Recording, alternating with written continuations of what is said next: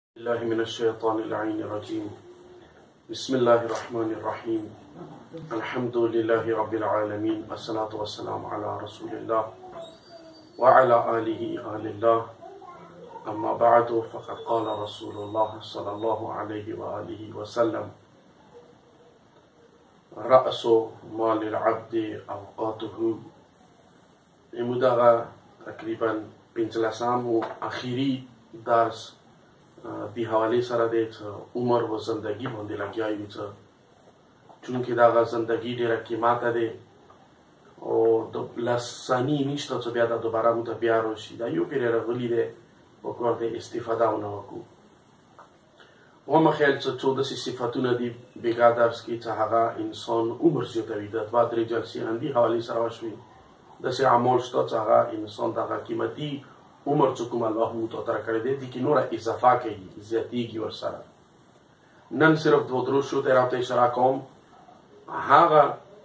بعد صفتونه بعد عملونه چې هغه واجنه انده عمر چې الله درکړی دی دوره ګران شای دا کمیږي عمر کې قلت روالي ایتو زندگی کموي وخت د کموي مرګ د زر روالي و نږدې کوي د تعجل نږدې کوي د څو اعمال واجنه هغه کې یو قطع رحمی ده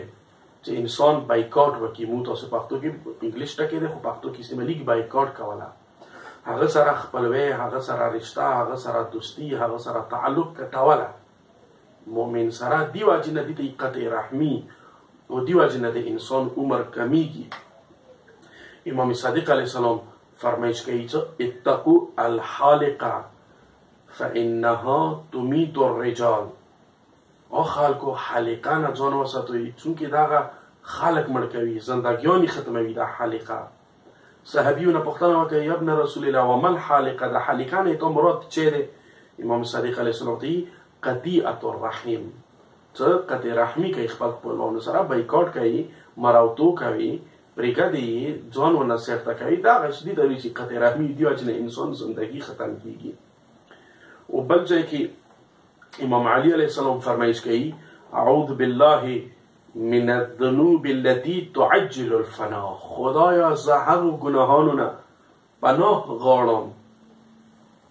زه هغو استغفار کوم نجات غواړم هغو ګناهانو نه تعجل الفنا څخه مرګ د تزر ولی فنا د تزر ولی انسان ختموي عمر زندګی نبوده کوي فقام الیه عبدالله ابن الکوا الیشکوری دا یو راوی دی عبدالله ابن الکوا دغه پاڅېدلو د امام علي علیه السلام خدمت کې پوښتنه وکړه یا امیر المؤمنین آیا داسې یا ګناه شته دی چې انسان فني کوي مکمله زندګۍ ختموي مولا ورته هیڅ نعم ویل قطیعت الرحم وایي تاسو باندې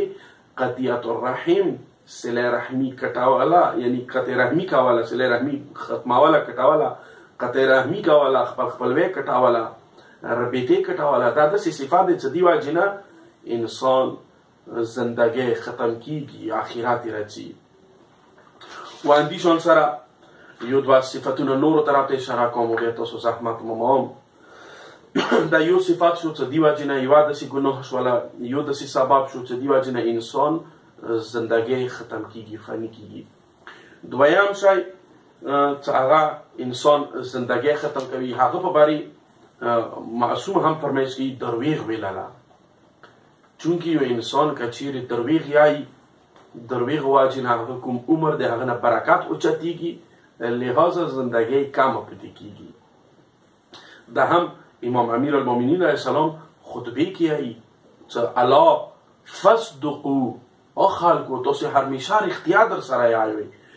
فإن الله مع الصادقین دا خو قرآن یاده چونکه الله رښتیا ویلونکو سره همیشه د پاره دی الله صادقینو سره مرسته کوي ماغوی سره دی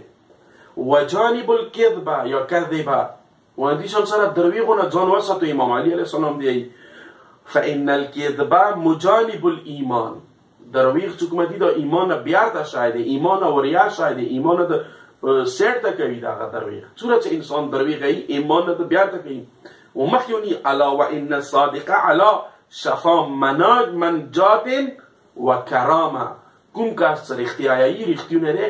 هغه د څه چې د کرامات او عزت او نجات دروازې باندې ویلار دی شفا مطلب دا څه دی کو یو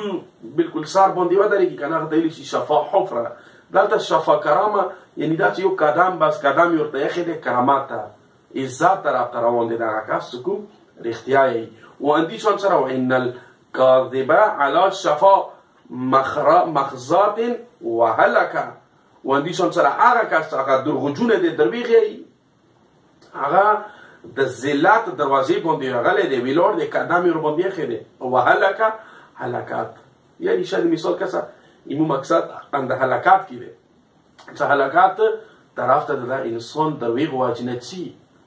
هغه زندګي چې الله رب العزت انسان ته ویر کړی دی دور عظیمه زندګي هغه د اندغه درویغ واجنه کټیږي انسان نه وو دریام کوم صفات دی چې هغه طرف ته غوړي صرف اشاره وکړو او آره او تفصیل طلب مطلب دی خو ما وخت نه زکات وجنه تفصیل نه وکړو صرف دوی چې دا ګران زندگی د انسان سره ضایع نشي په کور دی هغه عمل ونه کی چې هغه وجنه دا زندگی کامه پاتې شي هغوی کې دریم عمل چې هغه وجې نه انسان کومه زندګي الله ویل کړي دی هغه کمیږي هغه العیاذ بالله زنا دی زنا که څه څوره چې انسان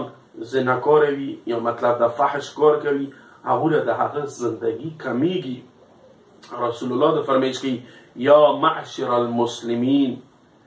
ایاکم و الزنا آه مسلمانانو زنا نه ځان وساتوي فإن فيه ست خصال دي کې شپږ داسې ګناهانې دي چې درې دغه دنیا کې ملاویږي انسان ته درې خصوصیات شپږ خصوصیتونه دي درې دغه دنیا کې ورته ملاویږي درې اخرات کې ورته ملاویږي ټول تفصیل سره نه دی اما یو تر ته اشاره کړی دی چې کوم دنیا کې د ځینې واجنه الله رب العزت انسان ته کوي هغه فان فانه يذهب بالبهاء اول شایدا چې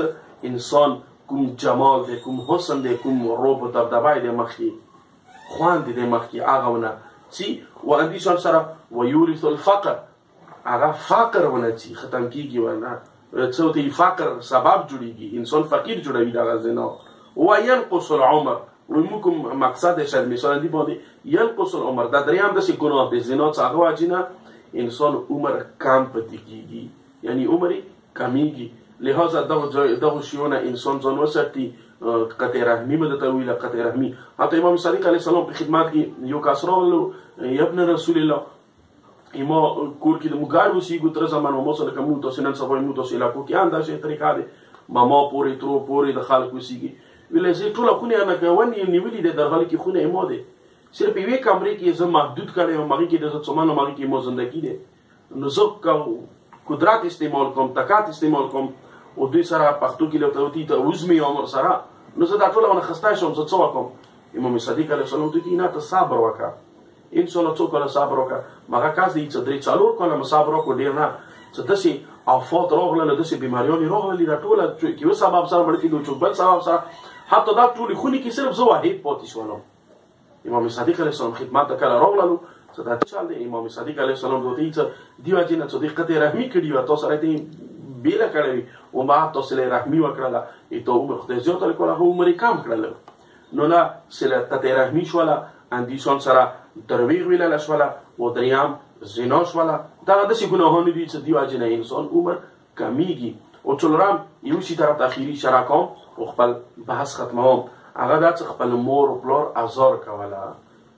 مور او پلار خبره نه منله هغوی ته اوفر حتی قرآني چې اوفر ته مایا جنت سیدي چې هغه ګزار ورباندې کوي بچي کې ورسري نو دغه شی اعمال واجنه انسان زندګۍ کمیږي بس د حدیث هم پنځم امام روایت دی نعوذ بالله من الذنوب التي من الذنوب التي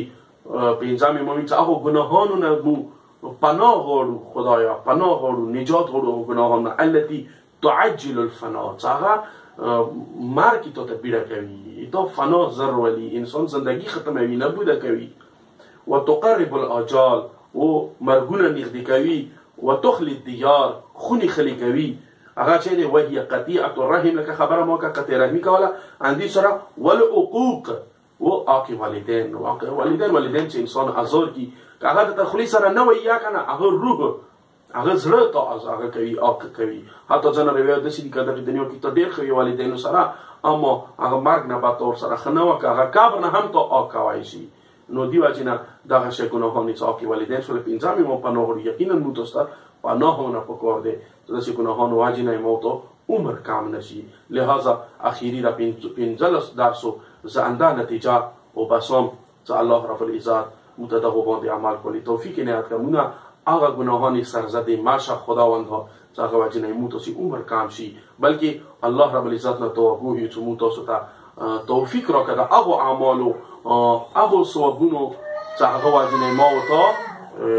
ثواب کې نور اضافه کیږي او دې سره عمر مو سره تلانی کیږي واخر دعوانا ان الحمد لله رب العالمین